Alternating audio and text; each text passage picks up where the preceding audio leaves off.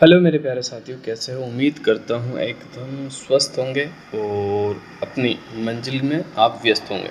अपनी मंजिल को पाने के लिए आप बिल्कुल व्यस्त होंगे। जो भी आपका टारगेट्स है कि आपको टीचर्स बनना है, पटवारी बनना है, राजस्थान पुलिस बनना है, या इसके अलावा लाइब्रेरियन बनना है first grade second grade third grade जो भी आपका टारगेट है, यानी जो भी आपका एम्स है, उसको अचीव करने में आप लगे हुए होंगे।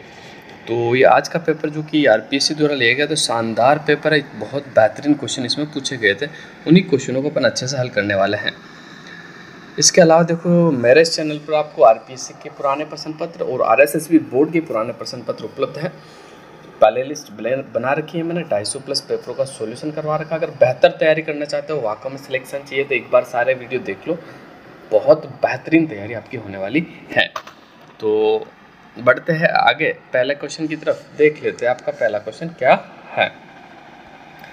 अनाज रखने के लिए बड़े मर्दवांड गोरे वे कोठे राजस्थान के किस प्राचीन स्थल से प्राप्त हुए थे? तो इसका जो राइट आंसर हो जाएगा आपका कौन सा? ऑप्शन नंबर तीन जो है ना आपका बिल्कुल राइट आंसर हो जाएगा। आहड़ सभ्यता से प्राप्त हुए कहाँ से? आहड़ सभ्यता से प्राप्त हुए थे। आहड़ सभ्यता की बात करूँ तो आहड़ सभ्यता को ताम्रवती नगरी भी कहा जाता है। क्या कहा जाता है अभी? ताम्रवती नगरी के नाम से जाना जाता है। दूसरा धुलकोट भी कहा जाता है। क्या कहा जाता है? धुलकोट। और आघाटपुर के नाम से भी जाना जाता है। आघाटपुर। और आघाट दुर्ग के नाम से भी आहटपुर जाना जाता है। इसके अलावा देखो, मैं आपको बता देता हूँ। आहड़ की सबसे पहले जो खोज की थी, वो 1953 के अंदर। कब? 1953 में एक के व्यास के द्वारा की गई थी। किसके द्वारा? अक्षय कीर्ति व्यास यानी एक के व्यास के द्वारा। बिल्कुल आपको याद रखना इंपॉर्टेंट है कई बार पूछा गया। इसके अलावा इसका जो उत्खनन है, वो आर डी अग्रवाल ने किया था। किसने किया था आर सी अग्रवाल है ना? सॉरी आर सी अग्रवाल और एक आपके थे शायद एच डी सांखलिया। शायद नहीं कन्फर्म है ना? H D Sankalia. ये दो उत्खनन करता था एक खोज करता था। तो बिल्कुल इन तीनों का जो संबंध है, वो आहट सभ्यता से बिल्कुल इम्पोर्टेंट है, आपको याद रखना है। इसके अलावा देखो आर्ट सभ्यता के कुछ और मैं थोड़े से फैक्ट आपको बताना चाहूँ तो इस सभ्यता में जो लोग होते थे ना, वो मकान बनाने में धूप में सुखाई गई ईट और पत्थरों का प्रयोग करते थे, ठीक है? बिल्कुल आपको याद रखना यानी धूप में सुखाई ईटें और पत्थरों का प्रयोग करते थे, ठीक है? और पानी के निकास हेतु जो नालिया के प्रमाण भी यहाँ से मिले हैं। इसके अलावा मैं बात कर लूँ तो इसे लाल, काले मर्द बांड वाली संस्कृति का मुख्य केंद्र कहा जाता है। ये सवाल मोस्ट इम्पोर्टेंट जो आपको याद रखना है। अब अगले क्वेश्चन की तरफ़ चलते हैं। चोपड़ा नामक ग्रंथ की रचना किसने की? मावजी, दरियावजी रामचरण जी रामदास जी इसका जो राइट आंसर हो जाएगा ऑप्शन नंबर वन आपका बिल्कुल राइट आंसर हो जाएगा। किसने करी थी भाई संत मावजी के द्वारा की गई थी। संत मावजी की अगर मैं बात कर लूँ ना तो संत मावजी का जो जन्म हुआ था, वो साबला ग्राम में। देखो, जन्म और पीठ और जन्म हो गया, पीठ हो गया और मंदिर हो गया। ये तीनों ही, जन्म, पीठ और मंदिर, तीनों ही कहाँ पर है साबला ग्राम डूंगरपुर में संत मावजी का जन्म भी साबला ग्राम में हुआ और पीठ भी इनकी साबला ग्राम में है और मंदिर भी इनका साबला ग्राम में है। ठीक है? बिल्कुल आपको याद रखना है। इसके अलावा मैं बात करूँ ना, देखो तो संत मावजी को श्री कृष्ण में पूजा में निष्कलंक के अवतार के रूप में इसकी पूजा की जाती है। कौन सा? निष्कलंक के अवतार, ठीक है? बिल्कुल आपको याद रखना एग्ज़ाम में पूछा भी गया है, निष्कलंक अवतार के रूप में किसे जाना जाता है? तो वो संत मावजी को जाना जाता है। किसे जाना जाता है? संत मावजी को। और निष्कलंकी संप्रदाय की बात कर ले तो इसका संबंध भी किससे? संत मावजी से बिल्कुल आपको याद रखना। संत मावजी के अनुसार, संत मावजी को भगवान विष्णु का कल के अवतार भी माना जाता है। मोस्ट आईएमपी क्वेश्चन मैं आपसे शेयर कर रहा हूँ। कल के अवतार। भगवान विष्णु का कल के अवतार भी संत माओ जी को माना जाता है। इसके अलावा अपन बात कर लेते हैं चोपड़ा ग्रंथ की। चोपड़ा ग्रंथ की बात करूँ तो चोपड़ा ग्रंथ को देखो, पाँच भागों में बांटा गया आपको याद रखना। ठीक है? कितने भागों में बांटा गया पाँच भागों में से बांटा गया ठीक है? एक तो हो जाएगा आपका प्रेम सागर, दूसरा आपका शाम सागर, एक हो जाएगा आपका रतन सागर, एक हो जाएगा आपका मेघ सागर और एक हो जाएगा अनंत सागर। इन पाँच भागों में। बड़ा इंपॉर्टेंट फैक्ट मैं आपको बता रहा हूँ। ठीक है? जो कि आपको याद रखना मोस्ट आई एम है बिल्कुल। कि भाई एक तो आपका प्रेम सागर, मेघ सागर, शाम सागर, रतन सागर और अनंत सागर, इन पाँच भागों में आपका चोपड़ा ग्रंथ बटावा है। इसके अलावा देखो, चोपड़ा ग्रंथ जो है ना, वाद विवाद शैली में लिखा हुआ कौन सी शैली में लिखा था आपको याद रखना, वाद और विवाद शैली के अंदर ही आपका लिखा हुआ है। क्लियर है? दूसरी में बात कर लो ना तो चोपड़ा ग्रंथ को दीपावली के दिन पढ़ा जाता है। चोपड़ा ग्रंथ में भविष्यवाणियाँ की गई है, ठीक है? और ये कौन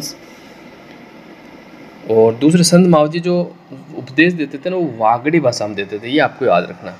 वागड़ी भाषा में। कौन सी भाषा में देते थे? वागड़ी भाषा में। तो अब बढ़ते हैं अगले क्वेश्चन की तरफ़, अगला क्वेश्चन देख लेते हैं।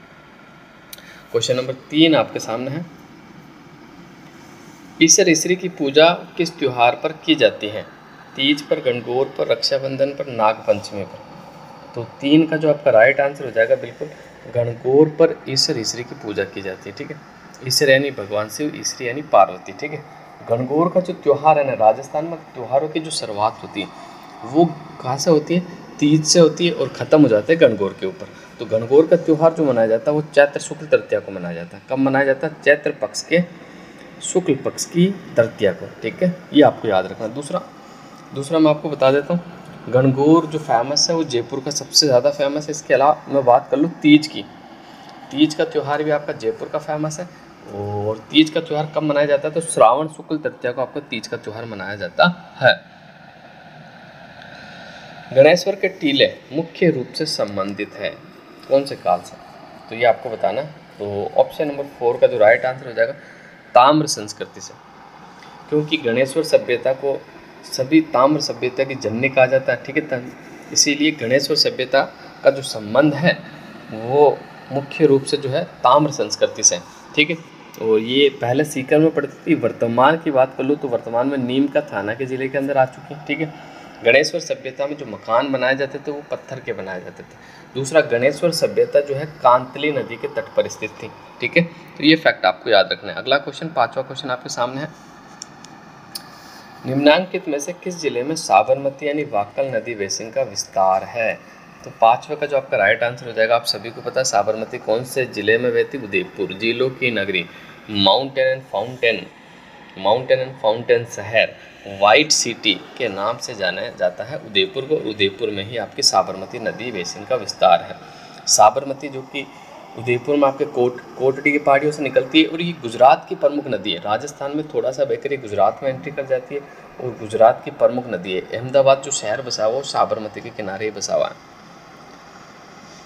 सावंत सिंह का संबंध किस चित्रकला शैली से था? ढूंढाड़ शैली से, हाड़ोती शैली से, चावण शैली से? तो छः का जो आपका राइट आंसर हो जाएगा, आप सभी को पता है, किशनगढ़ शैली से था। कौन सी शैली से था?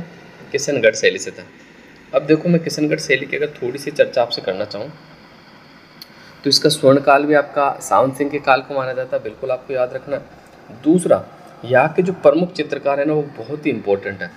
आपको याद रखना, एक तो आपका लाडली दास कौन सा दास हो जाएगा? एक तो लाडली दास हो जाएगा, एक आपका रामलाल हो जाएगा, ठीक है?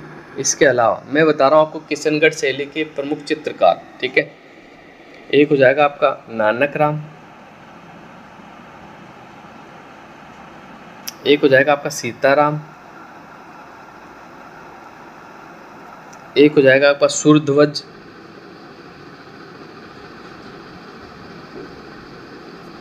एक आपका हो जाएगा अमीर चंद। एक आपका हो जाएगा छोटू। ठीक है?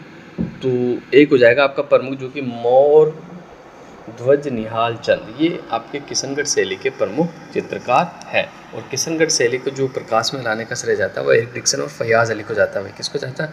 एरिक डिक्सन और फयाज अली को। तो ये सातवां क्वेश्चन आपके सामने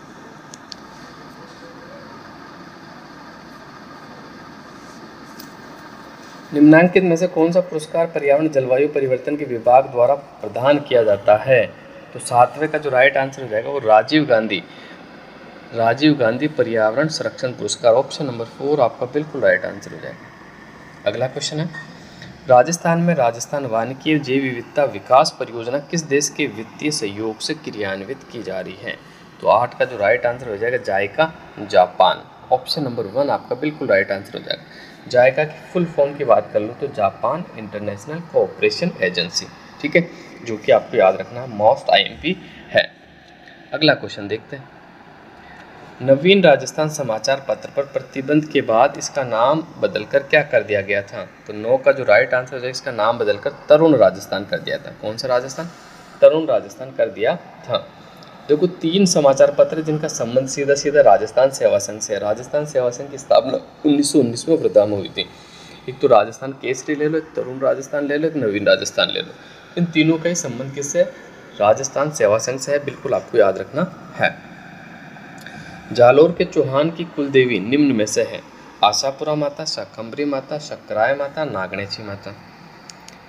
तो देखो आस आपके जालोर की जो कुल देवी है ना, वो आशापुरा माता है। कौन सी माता? आशापुरा माता है। ठीक है, बिल्कुल आपको याद रखना है। और नागणेची माता आपके राठौड़ों की कुल देवी है। आपके कुल देवी राठौड़ों की कुल देवी नागणेची माता। क्वेश्चन नंबर ग्यारह आपके सामने कौन सा सुमेलित नहीं है? ये आपको बताना है। सॉरी तो ग्यारह का जो आपका घोड़ी गीत, वर निकासी के समय, घोड़ी चढ़ी रस्म के समय, जच्चा गीत, परिवार में बालक के जन्म के समय, जल्ला गीत, बालक के जन्म के पश्चात कुआ पूजन के समय, रसिया गीत होलिका उत्सव पर। तो ग्यारह का जो राइट आंसर हो जाएगा, कि जल्ला गीत जो है ना, जल्ला गीत। ये कुआ पूजन के समय नहीं किया जाता है ठीक है? जल्ला गीत कब किया जाता है? तो मुझे कमेंट करके ज़रूर बताना।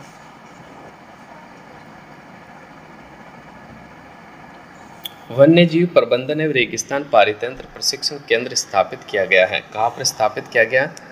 बारहवें का जो राइट आंसर हो जाएगा आपका ऑप्शन नंबर तीन, ताल छापर चूरू में ठीक है? तो जल्ला गीत के बारे में मैं पहले वाले वीडियो में आपको बता चुका हूँ वैसे टफ नहीं, आप आसानी से बता सकते हो, ठीक है? नहीं हो तो मुझे कमेंट कर देना, मैं आपको बता दूँगा। निम्न में से किस ग्रंथ की रचना महाराणा कुंभा ने नहीं की? यानी कौन सा ग्रंथ है जिसकी रचना महाराणा कुंभा के द्वारा नहीं की गई, आपको बताना है।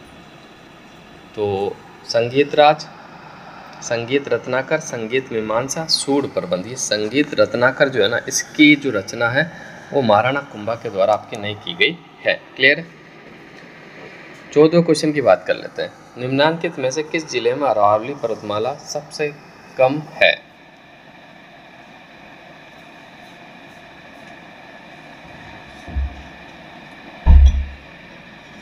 तो देखो डूंगरपुर आपका जिला है ना, जहाँ अरावली पर्वतमाला का क्षेत्र बिल्कुल कम है, बिल्कुल थोड़ा सा है, ठीक है, बिल्कुल आपको याद रखना जबकि अरावली की सबसे ज़्यादा ऊंचाई आपको सिरोही ज़िले में मिलेगी। कौन से ज़िले में मिलेगी? सिरोही ज़िले में। और अरावली की सबसे कम ऊंचाई पहले अजमेर था, लेकिन अब आपको ब्यावर में मिलेगी। ठीक है, याद रखना। अरावली की सबसे ऊँची चोटी आपकी गुरु शिखर है, जिसकी ऊंचाई है सत्रह सौ बाईस मीटर। ठीक है? उसके बाद आपकी कौन सी आती? है शेर आती है जिसकी ऊंचाई है पंद्रह सौ सत्तानवे मीटर। ठीक है? उसके बाद फिर आपकी दिलवाड़ा आती है, उसकी ऊंचाई है चौदह सौ बयालीस मीटर। उसके बाद फिर कौन सी आती? है अचलगढ़ आती है आपकी, उसकी ऊंचाई तेरह सौ अस्सी मीटर। तो ये प्रमुख प्रमुख जो चोटियाँ इसके बाद आपका कुंभलगढ़ आता है, जिसकी ऊंचाई बारह सौ चौबीस है। तो ये मेन मेन जो बड़ी बड़ी चोटियाँ इनके आप ऊंचाई ज़रूर याद रखना। सवाल कैसे बनता? आरोही और अवरोही क्रम इनका पूछ लिया जाता सेट करने वाला। क्वेश्चन नंबर पंद्रह, निम्नांकित में से कौन सा युग्म सुमेलित नहीं है? तो देख लेते अपन कौन सा युग्म सुमेलित नहीं। माही नदी, सोम, बनास, कोठारी, साबरमती, मोरैन और लूणी, बांडी। तो ऑप्शन नंबर तीन जो है ना, आपका बिल्कुल राइट आंसर हो जाएगा। भाई, साबरमती की सहायक नदी मोरैन नहीं है, क्योंकि मोरैन जो है ना, वो तो आपके माही की सहायक नदी है। किसकी सहायक नदी? माही की। इसलिए आपका ऑप्शन नंबर तीन जो है, बिल्कुल राइट आंसर हो जाएगा। क्वेश्चन नंबर सोलह आपके सामने है। राज्य में 2001 से 11 के दौरान किस ज़िले में ग्रामीण जनसंख्या वृद्धि दर सबसे कम रही है? 16 का जो आपका राइट आंसर हो जाएगा, बिल्कुल देखो। ग्रामीण जनसंख्या वृद्धि दर सबसे कम रही कोटा के अंदर। सबसे ज़्यादा शहरी लोग रहते हैं कोटा के अंदर, ठीक है? और सबसे कम ग्राम, जो शहरी लोग रहते हैं वो डूंगरपुर में रहते हैं। कहाँ रहते हैं? डूंगरपुर में। अगला क्वेश्चन गोखरू आभूषण मानव शरीर के किस अंग में पहना जाता है? तो सत्रह का जो राइट आंसर हो जाएगा, बिल्कुल ऑप्शन नंबर तीन, कलाई में पहना जाता है। कल ही मैंने वीडियो में आपको बताया था एक आभूषण, कोकरू। ये कोकरू जो आभूषण है ना, ये कहाँ पहना जाता है? तो कोकरू आभूषण पहना जाता है कान के अंदर। कहाँ पहना जाता है? कान में कोकरू पहना जाता है और गोकरू आपके कलाई में पहना जाता है। गोक्रू कलाई में पहना जाता है, कोक्रू जो है ना आपका, ये कान में पहना जाता है। बहुत ही प्यारा क्वेश्चन है, बन सकता है, बिल्कुल आपको याद रखना है। बाबा रामदेव की आराधना में किया जाने वाला नृत्य तो ये तेरह ताली नृत्य है। कौन सा नृत्य? तेरह ताली नृत्य, जो कि बाबा रामदेव की आराधना में किया जाता है। निम्न में से कौन सा युग्म गलत है? तो देख लेते हैं, उन्नीसवें में आपका कौन सा युग्म गलत है?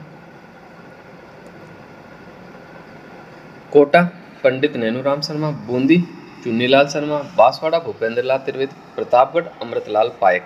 तो 19 में जो सुमेलित नहीं है ना, वो है आपका option number two option number two जो है आपका बिल्कुल याद याद आपका राइट आंसर हो जाएगा। बूंदी में आपके कांतिलाल। ठीक है, चुन्नीलाल शर्मा का संबंध नहीं है।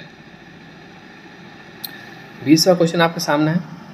निम्नांकित में से किस ज़िले में अरावली के साथ साथ विद्यन क्रम के उच्चावच के स्वरूप भी विद्यमान है? ये बहुत प्यारा क्वेश्चन है भाई। अरावली के साथ साथ विद्यन भी हैं। तो बीसवें का जो आपका राइट आंसर हो जाएगा वो है चित्तौड़गढ़। ऑप्शन नंबर तीन जो है आपका बिल्कुल राइट आंसर हो जाएगा। भाई, इधर से थोड़ा सा अरावली है, उधर से आपका विद्यन क्रम आ जाता है, यानी आपकी विद्यांचल पर्वत का विद्यन क्रम के उच्चावच स्वरूप भी मौजूद है। तो चित्तौड़गढ़ एक ऐसा किला जहाँ अरावली भी है और विद्यांचल भी है।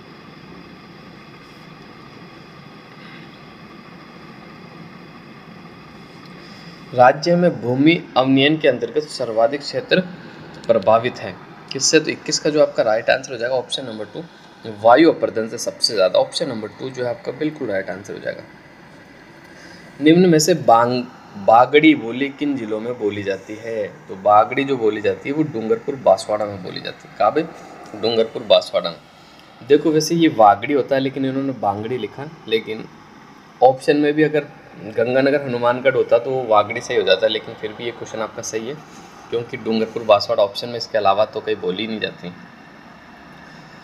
राजस्थान में सूखे से निपटने हेतु नोडल विभाग है, कौन सा है, ये आपको बताना है तो तेईस का जो राइट आंसर हो जाएगा, आपदा प्रबंधन एवं राहत विभाग ऑप्शन नंबर टू जो है आपका बिल्कुल राइट आंसर हो जाएगा।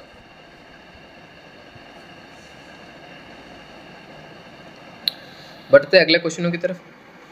राज्य के किस ज़िले में वर्षा के वितरण में सर्वाधिक वर्षा परिसर देखने को मिलता है?